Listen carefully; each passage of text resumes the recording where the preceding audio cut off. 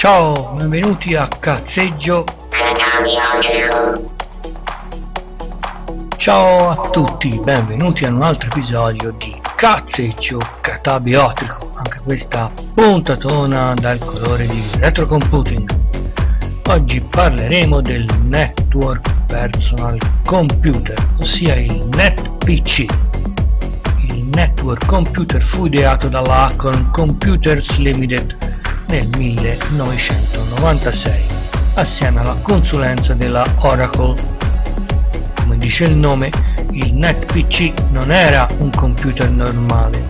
A livello hardware il NetPC aveva un processore ARM da 40 MHz capace di 35.9 MIPS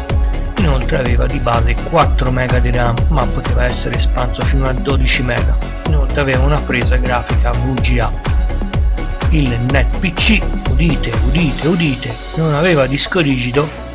udite, udite, udite, il NetPC non aveva disk drive, udite, udite, udite, il NetPC non aveva un CD-ROM. Il sistema operativo era l'NCOS ottimizzato per i processori ARM e derivato dal RISC OS della Acorn. Il NetPC era disponibile in due versioni, uno dotato di modem e un altro dotato di scheda di rete, praticamente identici. Il primo NetPC, quello con il modem, era pensato per un uso casalingo, ossia home computing, mentre il NetPC dotato di scheda di rete era pensato per il segmento business computing.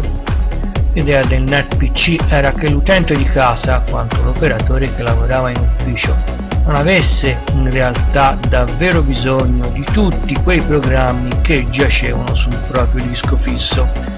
che erano installati e spesso anche fonti di problemi, specie per gli utenti Windows nel settore dell'home computing che nel lontanissimo 1996 gli utenti di Windows 95 smadonnavano continuamente con il registro di Windows 95 mentre NT4 Workstation, il sistema operativo per il segmento Business Computing all'epoca assorbiva enormi quantità di spazio su disco fisso, molta RAM, assorbiva tempo macchina rallentando continuamente l'uso del computer ad ogni aggiornamento. Il NetPC era concettualmente vicino al, all'idea di terminale, vecchio terminale, solamente che il NetPC era dotato di un sistema operativo, quindi sarebbe stato ed era capace di gestire le periferiche locali, cosa che un terminale tradizionale non ne sarebbe stato capace. Il NetPC avrebbe dovuto, udite, udite, udite, scaricare il software via internet da essere poi processato in locale a seconda delle necessità dell'utente, senza dover usare costose periferiche hardware come dischi fissi, dischetti, dischi rimovibili e quant'altro. Ora, il progetto del NetPC si fondava su due tipi di software, il software gratuito, un ampio e pingue pacchetto di software che poteva essere scaricato online gratuitamente tutte le volte che sarebbe stato necessario e poi processarlo in locale. Questo ampio pacchetto software avrebbe soddisfatto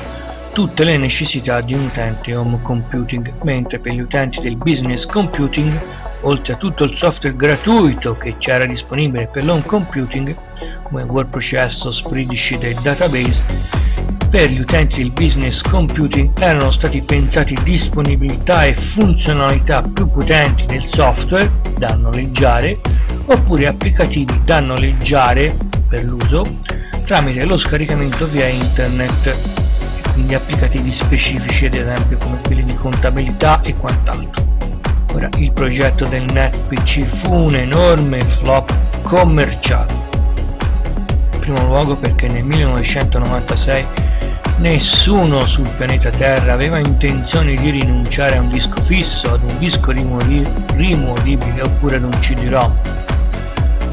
per non disporre più in locale di tutto il software di cui avrebbe potuto aver potenzialmente bisogno. Ecco, nel 1996 non era accettabile per gli utenti